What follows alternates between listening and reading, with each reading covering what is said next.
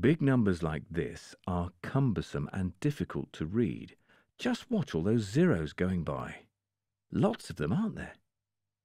If scientists had to read or write them out in full when they were discussing things like the molecules of water in a swimming pool or the distance to the Orion Nebula, it would take up pages of books. The same is true of very small numbers like this one, and it's an important number, the charge on a single electron. But you could spend so much time counting the zeros, you lose track of what the number was about. So how do scientists solve the problem of very big and very small numbers? In fact, scientists use a really simple device called scientific notation that allows them to abbreviate these numbers so that they're easier to write down and work with. The numbering system we use works in tens. That's the basis of our counting system. So 2, 20, 200 and 2000 are increasingly large numbers. They're also each 10 times larger than the previous number. You could think of that set of numbers as 2, 2 multiplied by 10, 2 multiplied by 100, and 2 multiplied by 1000, but that doesn't help much for very large numbers. The same numbers could also be written as 2, 2 times 10, 2 times 10 times 10, and 2 times 10 times 10 times 10. Think of that as 2, 2 times 10 one time, 2 times 10 two times, and 2 times 10 three times. Scientists write that with a superscript and describe it as to the power of. This last number is therefore 2 times 10 to the power 3. This is scientific notation. You can write any number like this, and they're all roughly the same length, even 2 times 10 100 times. The basic form of scientific notation is a number. Let's call this number a multiplied by 10 to the power of another number. Let's call this number b. b tells you how many times 10 should be multiplied by itself. Let's start with the number 500. You can visualize the process of scientific notation by focusing on the decimal point of the number and imagining it hopping over digits until there's only one digit left in front of it. Also note that the number left in front of the decimal needs to be greater than 0 and less than 10. This is an important point which we'll get to later. So for 500, the actual number can also be written 5 times 10 times 10.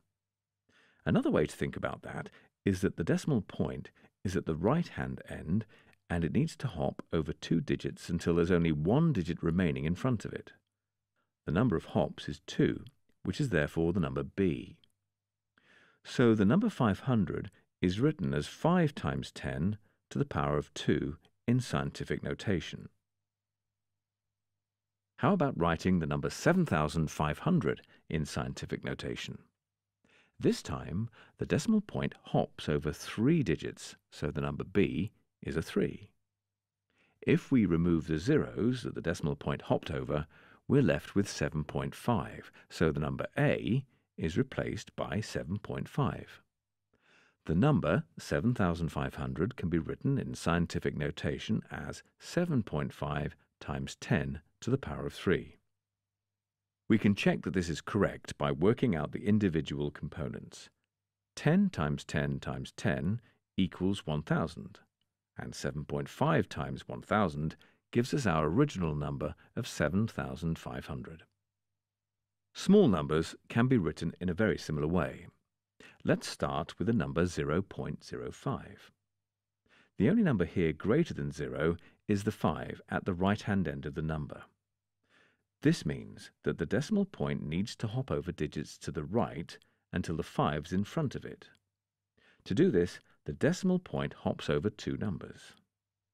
Again, the number b is replaced by a 2. However, because we've moved towards the right, we're moving towards smaller numbers, and therefore a minus sign is required before the 2. If we remove all the zeros that we hopped over, and the one that was before the decimal place, we're left with the number 5. This becomes our number A. So the number 0.05 can be written in scientific notation as 5 times 10 to the power of minus 2. Again, we can check that this is correct by working out the individual components. 10 to the power of minus 2 is actually 0.1 times 0.1, which equals 0.01, and 0.01 multiplied by 5 results in 0.05. You should now be able to write our original very large number and very small number in scientific notation. For the large number, the decimal point hops over 22 digits and is left with a 1 in front of it. Don't worry, you won't have to do this very often. Most numbers like this are normally already written in scientific notation. In scientific notation, this number is 1 times 10 to the 22. For the very small number, the decimal point needs to hop right over 19 digits and leaves us with 1.6. In scientific notation, this is written as 1.6 times 10 to the minus 19, which is the electric charge of a single electron. It's an important number that's much easier to remember in scientific notation.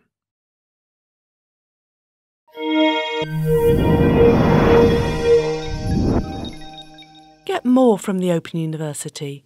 Check out the links on screen now.